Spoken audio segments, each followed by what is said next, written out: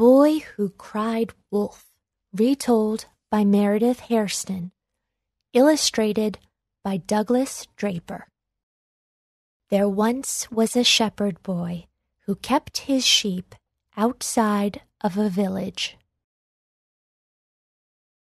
One day, he thought he would play a trick on the villagers and have some fun.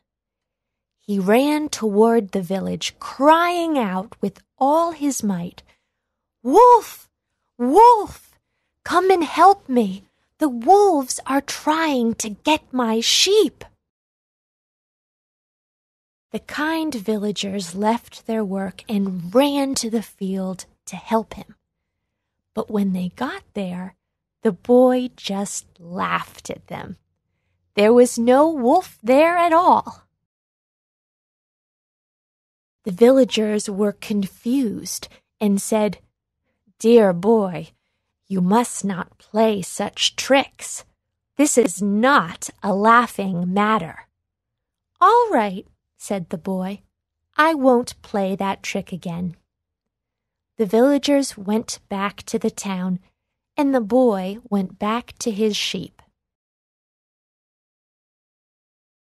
Still another day, the boy tried the same trick again. He yelled out with all his might, Wolf! Wolf! Help me! The wolves are coming after my sheep! Again, the kind villagers came running, and when they reached the boy, again he laughed at them. There were still no wolves. The villagers were now upset with the boy.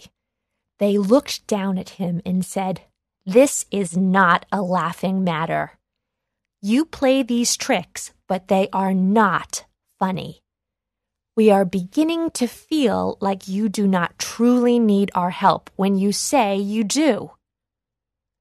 The villagers went back to the town, and the boy went back to his sheep. Then one day a wolf did break into the herd of sheep. He began taking the sheep one by one away from the field. In a great fright, the boy ran for help. Wolf! Wolf! he screamed. There truly is a wolf in my flock of sheep. Help!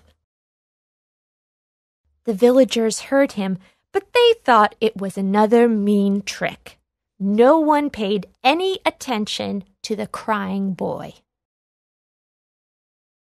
Please, please, pleaded the boy. I am so sorry for lying. I promise never to trick you again.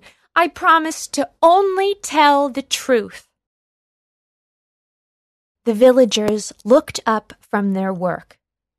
We see now that you are truly upset just as we were when you tricked us.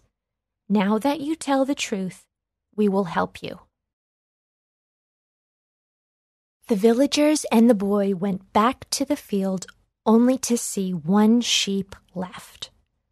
They followed the trail that the wolf left behind him to retrieve all the taken sheep.